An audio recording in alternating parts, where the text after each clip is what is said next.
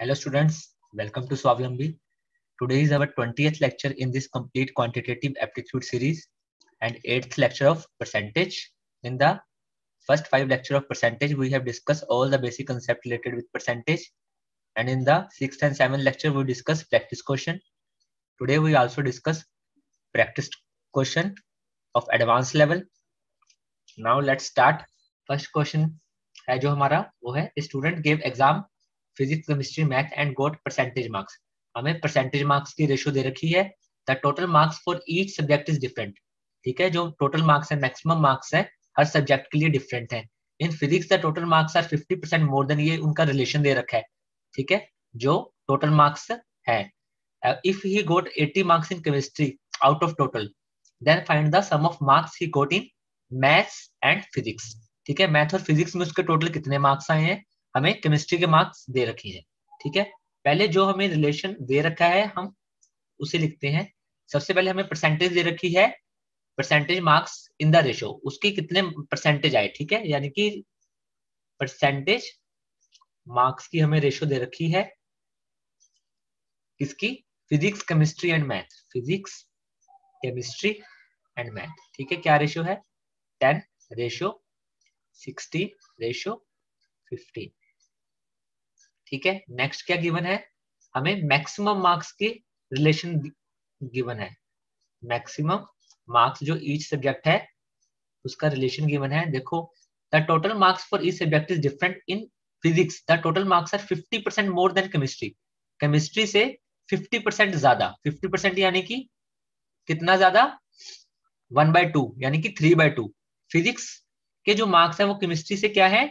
Three by to chemistry यानी कि P upon सी की रेशो क्या आ जाएगी मेरे पास? थ्री टू ठीक है? तो थ्री रेशो टू में है मैक्सिमम मार्क्स फिजिक्स और केमिस्ट्री के। Similarly and 25 percent less than maths और मैथ्स से क्या है फिजिक्स के? 25 लेस यानी कि वन बाय फोर लेस यानी कि थ्री बाय फोर तो फिजिक्स के क्या है? Three by four of math तो पी अपॉन एम का क्या रिलेशन आ गया? थ्री रेशो फोर ठीक है? तो फिजिक्स और मैथ देखो, ये पहले ही थ्री यूनिट है, यानी कि हमारा ऑलरेडी बैलेंस्ड है तो मैथ का क्या आ गया? फोर ठीक है?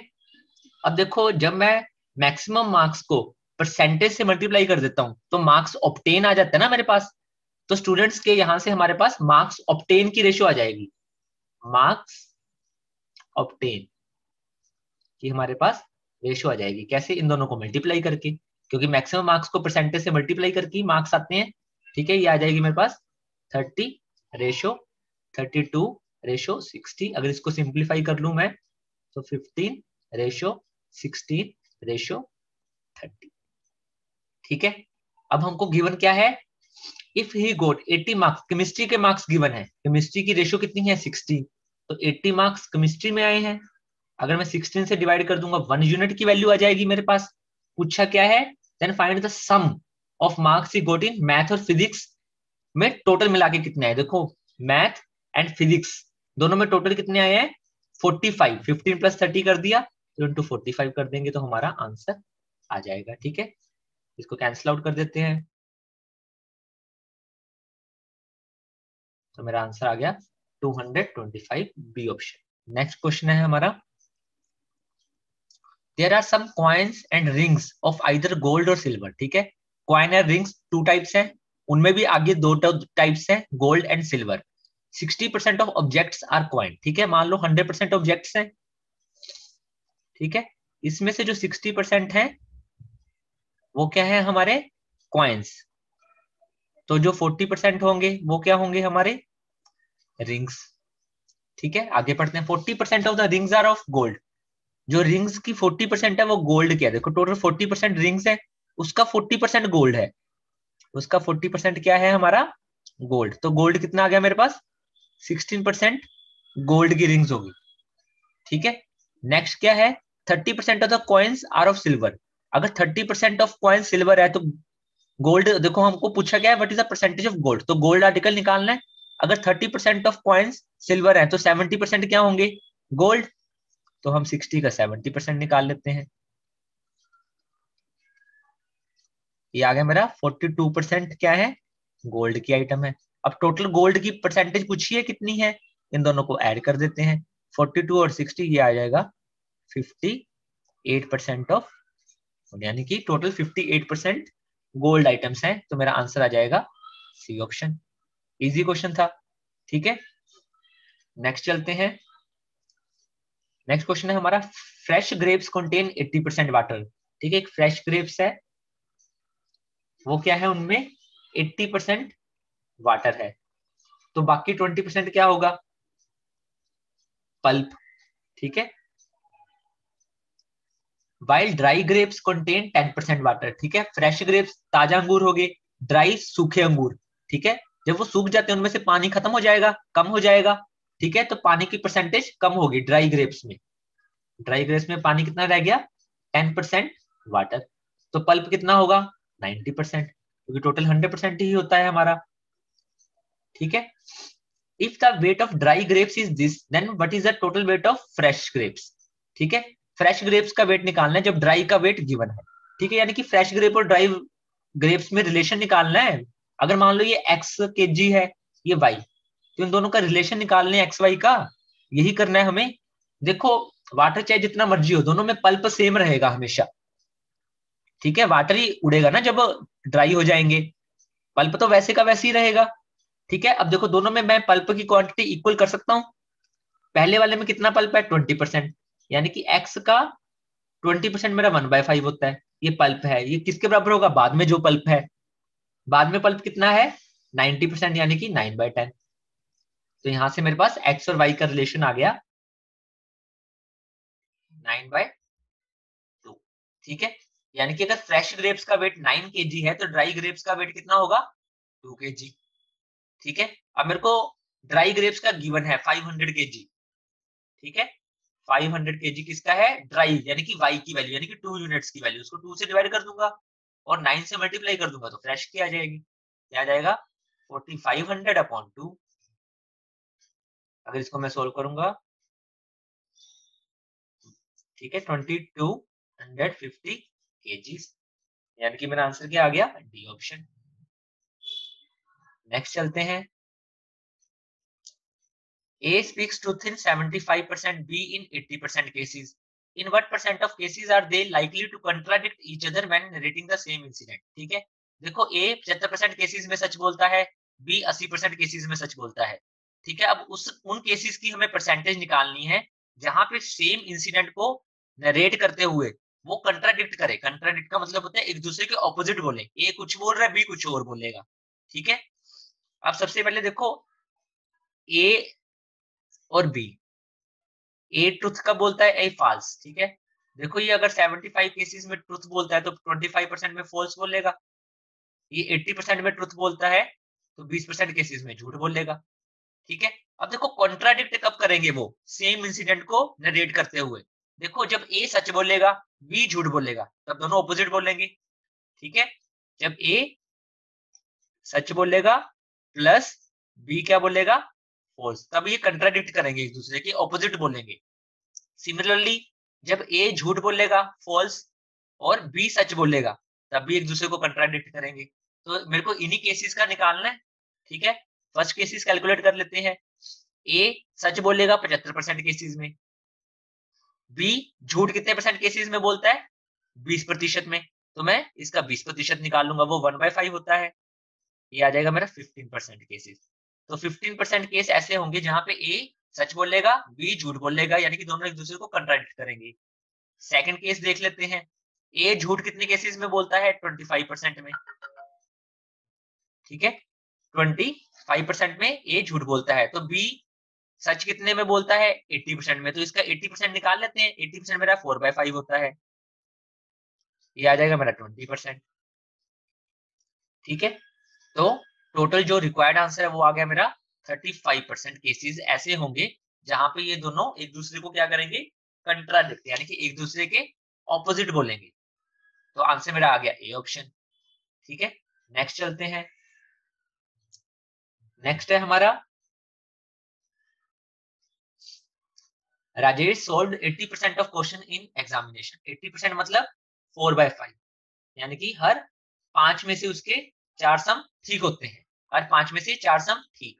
ठीक है? If out of 41 question solve by Rajesh 37 questions are correct ठीक है? 41 उसने अटेम्प्ट किए। इसमें से क्या है? 37 उसके करेक्ट हैं। ठीक है?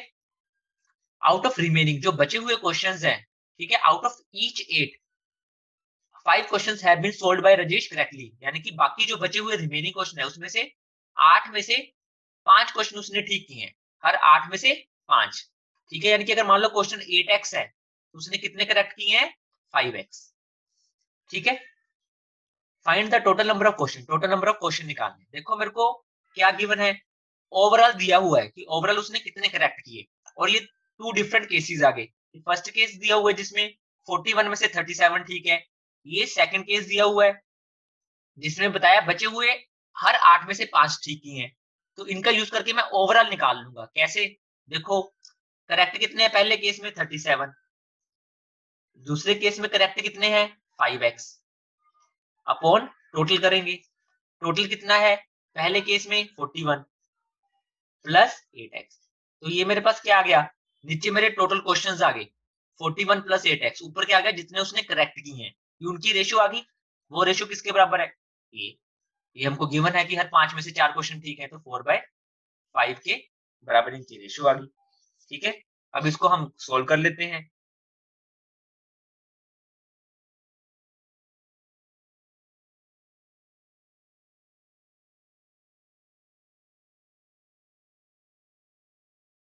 एक्स की वैल्यू मेरी क्या आ गई?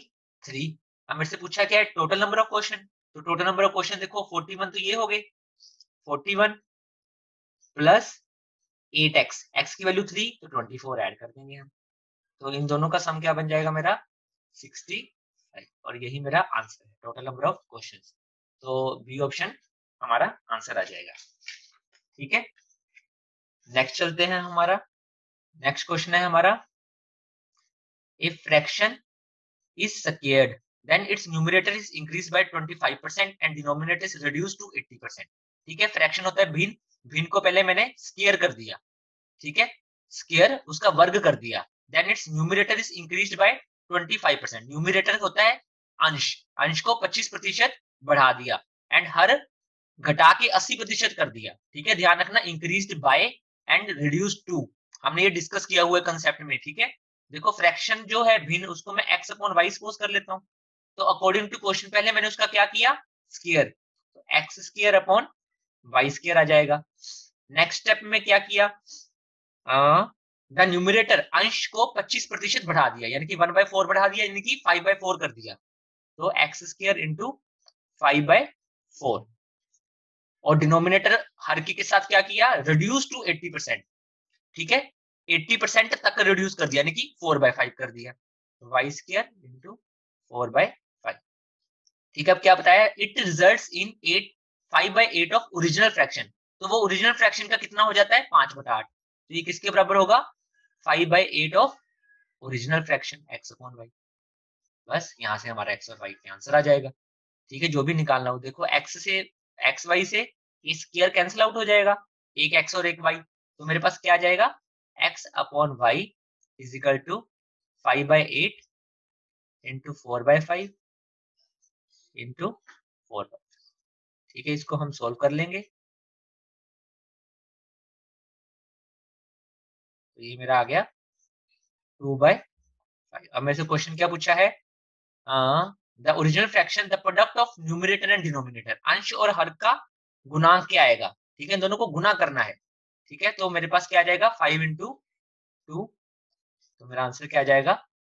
टेन वो है मेरा डी ऑप्शन ठीक है? नेक्स्ट चलते हैं। नेक्स्ट क्वेश्चन है the price of sugar is increase ये हमने किया हुआ कंसेप्ट डिस्कस ठीक है? शुगर इंक्रीज कितना हो गया? 16.66 परसेंट यानी कि वन बाय सिक्स इंक्रीज तो होके कितना हो जाएगा? Seven by six again increase by 28.56 हमने किया हुआ है टू बाई सेवन अगर कोई चीज़ टू बाई सेवन इंक्रीज हो जाती है तो हो कितनी जाएगी? Nine by seven now it is decrease by 62.5 62.5 होता है मेरा 5 बाय 8 अगर 5 बाय 8 क्या हुआ? डिक्रीज तो रह कितनी जाएगी? 3 बाय 8 ठीक है? नेक्स्ट क्या है? ए पर्सन ये तो आ गया हमारा प्राइस का रिलेशन ठीक है? प्राइस इंटू हम क्या करते हैं? कंजप्शन कंजम्पशन देखो क्या होगी? करंटली यूज़ 60 के of sugar while he consume 11 के ऑफ़ शुगर प्रीवियसली पहले 11 करता था, आज 16 करता है। यानी कि प्राइस इंटू कंजम्पशन क्या लिखूँगा? 16 बाई 11 ये भी इंक्रीज होगी 11 से 16 ठीक है? Find the percentage change in expenditure इन सबको मल्टीप्लाई करके हमें एक्सपेंडिचर में चेंज पता लग जाएगा, ठीक है? अगर आपको ये कंसेप्ट समझ में नहीं आ रहा, ठीक है? तो हमने इस पे वीडियो बना के रखी हुई है, आप वो चेक कर सकते हैं, ठीक है? सेवन से सेवन का कैंसिल आउट एट टू जार सिक्स सिक्सटीन ये कैंसिल आउट हो गया तो ये मेरा आ गया नाइन बाय इलेवन तो एक्सपेंडिचर क्या हो गया? इलेवन से नाइन यानी कि कितना कम हो गया? टू बाई इलेवन कितना कम हो गया? टू बाई इलेवन रिड्यूस हो गया। टू बाई इलेवन कितना होता है? One by eleven nine point zero nine. उसको टू से मल्टीप्लाई कर देंगे। एटीन पॉइंट, एटीन परसेंट क्या हो गया? डिक्रीज। तो ऑप्शन मेरा क्या जाएगा? Answer B option. ठीक है? नेक्स्ट चलते हैं। In an examination 40 percent marks are required to pass. A obtain 10 percent less than, देखो 40 परसेंट मार्क्स चाहिए। पास होने के लिए ए को कितने मिले हैं? A obtain 10 percent less than the number of marks required to pass अब 40 परसेंट पास होने के लिए चाहिए उसको उससे क्या मिले? 10 percent less 10 percent less 1 by 10 less यानी कि 9 बाय 10 तो 9 बाय 10 तो इसको आ गया 36 परसेंट मार्क्स आए हैं ए के, ठीक है? B obtain 11 1 by 9 percent less than A A से 11 1 बाय 9 परसेंट ये कितने होते हैं? 1 बाय 9 1 बाय 9 कम आया यानी कि 8 बाय 9 तो बी के कितने आए हैं? एक से 8 by 9 36 percent into eight by nine तो ये आ गया 32 परसेंट। ठीक है? अब नेक्स्ट है C obtain 41 3 by 17 percent less than the number of marks obtain A and B ठीक है? ए एंड बी को चलो मैं ऐड कर लूँगा मेन तो हमारा क्वेश्चन है कि 4 1 3 बाय 17 परसेंट कितना होता है। ठीक है? इसको हम सोल्व कर लेंगे, कुछ नहीं। बेसिक कंसेप्ट लगाओ 41 इंटू सेवनटीन प्लस थ्री करेंगे। 41 इंटू सेवनटीन तो six nine seven plus three करूँगा सेवन हंड्रेड तो ये किसके बराबर आ गया? Seven hundred upon seventeen percent यानी कि सेवन बाय सेवनटीन ठीक है? तो क्या हो गया? C obtain seven by seventeen less than marks obtain by A and B together seven by seventeen कम, यानी कि कितना? टेन बाय सेवनटीन ऑप्टेन किया होगा। तो सी के मार्क्स क्या आएँगे? ए प्लस बी का ten by seventeen A plus B कितना आ जाएगा मेरा? सिक्सटी एट इंटू क्या आ जाएगा ये? टेन बाई सेवनटीन ठीक है? ये कितना होता है? फोर ठीक है? तो मेरा कितना आ गया? फोर्टी परसेंट सी के कितने मार्क्स आएँगे? फोर्टी परसेंट ठीक है? तो मेरा आंसर आ गया बी ऑप्शन ठीक है? नेक्स्ट चलते हैं. नेक्स्ट मेरा क्वेश्चन है a digit at unit place of a two digit number ठीक है? टू डिजिट नंबर है देखो यूनिट प्लेस क्या होता है? जैसे हमारा थर्टी टू नंबर है तो ये यूनिट प्लेस है टू और ये थ्री हमारा क्या है? टेंस प्लेस इकाई का स्थान ये दहाई, ठीक है? अब देखो, इसको नंबर को हम कैसे लिखते हैं? जो टेंस प्लेस है, उसको टेन से मल्टीप्लाई करके प्लस यूनिट प्लेस वाला, ठीक है? अब यही कंसेप्ट याद रखना। हम क्वेश्चन करते हैं। The digit of unit place of two digit number is increase by hundred percent पहले हमको नंबर सपोज़ कर लेते हैं। मान लो एक्स वाई नंबर है। ठीक है? अब क्या बोल रहा? कि जो यूनिट प्लेस है, उसको मैंने क्या कर दिया? Hundred percent increase unit place पे वाई है, इसको हंड्रेड परसेंट इंक्रीज कर दिया। And then tens digit of the same number is increase by इसको फिफ्टी परसेंट इंक्रीज कर दिया। The new number thus form is nineteen more than original number original number क्या बनेगा पहले? यहाँ से। ओरिजिनल नंबर जो मेरा बनेगा, वो बनेगा ten X plus Y original number है। ठीक है? अब जो नंबर इसने बोला है, वो क्या बनेगा? ओरिजिनल नंबर ये है ठीक है? अब जो चेंजेस इसने बोले हैं वो करके देखते हैं। आ, सबसे पहले हम देखते हैं इसने टेंस प्लेस की क्या किया? Tens place same number increase by fifty percent यानी कि वन बाय टू इंक्रीज कर दिया यानी कि थ्री बाय टू कर दिया। तो ten into three by two x plus y को क्या किया? यूनिट प्लेस के डिजिट को क्या किया? Increase by hundred percent hundred percent यानी कि डबल कर दिया बस टू वाई ठीक है? ये ओरिजिनल नंबर आ गया। ये चेंजेस करके। अब क्या बोला है? न्यू नंबर फॉर्म इस 19 मोर जो नया नंबर है ना, ये 19 बड़ा है इससे। तो अकॉर्डिंग टू क्वेश्चन हम सोल्व कर लेते हैं। Ten x plus y plus nineteen उन्नीस बड़ा है ना दूसरे वाला। तो ये इसको सोल्व करके लिखूँगा तो पंद्रह एक्स प्लस टू वाई अब यहाँ से मेरे पास एक्स वाई में रिलेशन आ जाएगा। हम देख लेते हैं फटाफट इसको सोल्व करके क्या आएगा? नाइनटीन इधर आ जाएगा। ये मेरा आ जाएगा फाइव एक्स प्लस यानी कि मेरे पास क्या आ गया? Five x plus y is equal to nineteen ठीक है? अब क्या पूछा है? What is the original number अब देखो, यहाँ पे दो वेरिएबल्स है मेरे पास। इक्वेशन एक ही है तो हम एज्यूम करके निकाल लेते हैं आंसर ठीक है? देखो, अगर x की वैल्यू मैं वन लूँगा तो फाइव फाइव माइनस करूँगा फोर्टीन वो पॉसिबल नहीं है, ठीक है? क्योंकि वन डिजिट्स ही आएँगे सिर्फ़। तो अगर मान लो x की वैल्यू मैंने टू ले ली तो टेन तो y की नाइन आ जाएगी, ठीक है?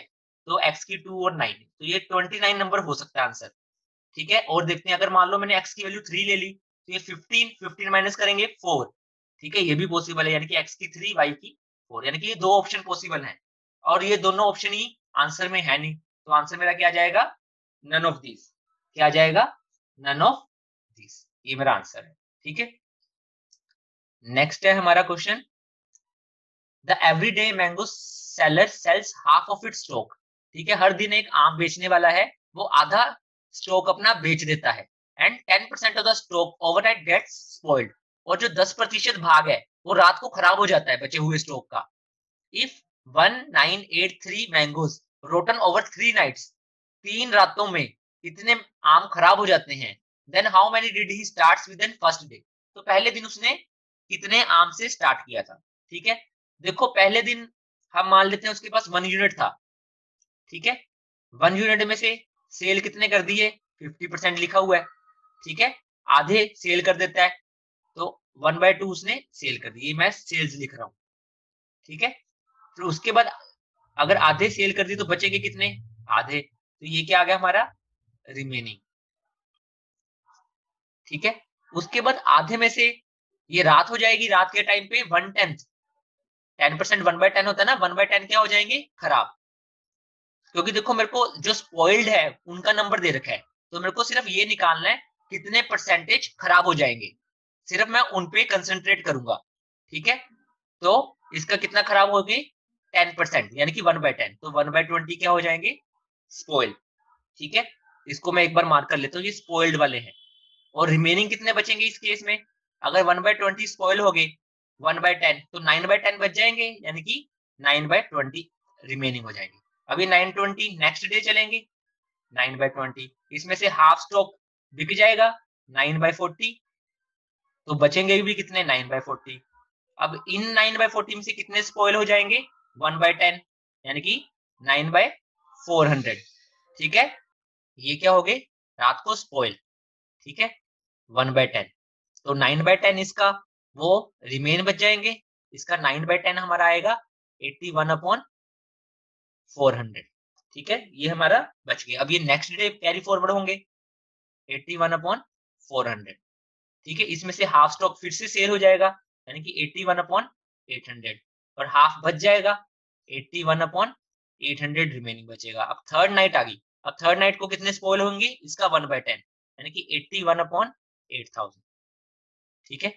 अब देखो, ये स्पॉइल की परसेंटेज आ गई मेरे पास। वन टू थ्री टोटल कितने स्पॉइल हुए? उनकी परसेंटेज निकल जाएगी इनको ऐड करके, ठीक है? इनको ऐड करूँगा तो एट थाउज़ेंड मेरा एलसीएम आ जाएगा। ठीक है? यहाँ पे जो आंसर आएगा हमारा, ये पहले आ जाएगा 400 ठीक है? एलसीएम लेके इसको अगर मैं करूँगा तो ये मेरा आ जाएगा 180 प्लस 81 ठीक है? ये हमारा बन जाएगा 661 अपॉन 8000 ठीक है?